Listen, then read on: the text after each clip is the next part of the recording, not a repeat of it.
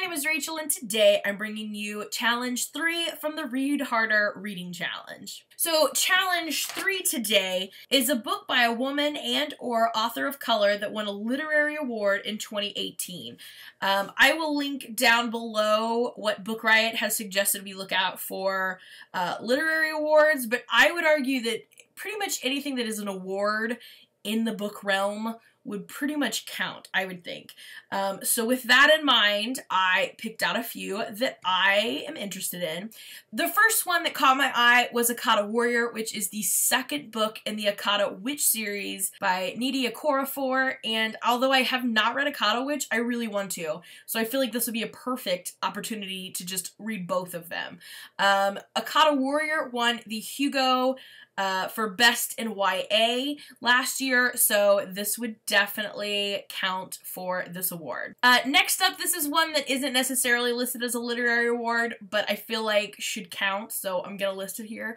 And that is Children of Blood and Bone by Tomi Adeyemi. This won the Goodreads Choice Award, uh, I believe, for debut.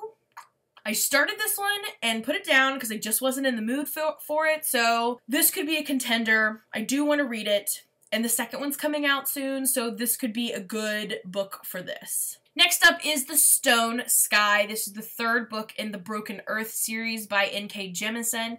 I have been wanting to read a book by N.K. Jemisin, so I feel like, again, this would be um, a great way to do it. Now, I believe in the Broken Earth trilogy, the first book is the fifth season, and I may have the bind up for this. I know I have a huge book by N.K. Jemisin.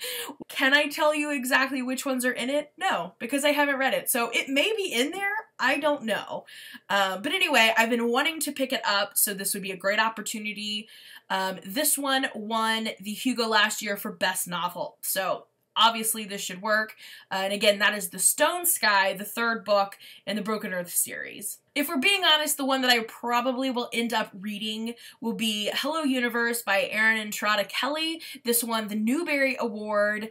Uh, and being a school librarian, the Newbery and the Printz are like top notch for me. So um, this is a very, very strong contender um, so that I can really push it in the school libraries because this covers several grade bands. Another super strong contender, I don't own it, but again, I have it at my school libraries, is Piecing Me Together by Renee Watson. This won the Coretta Scott King Award. Again, another huge uh, award for school library books. So this is another one that I would love to be able to read and really push out um, to the students. And this has a beautiful cover.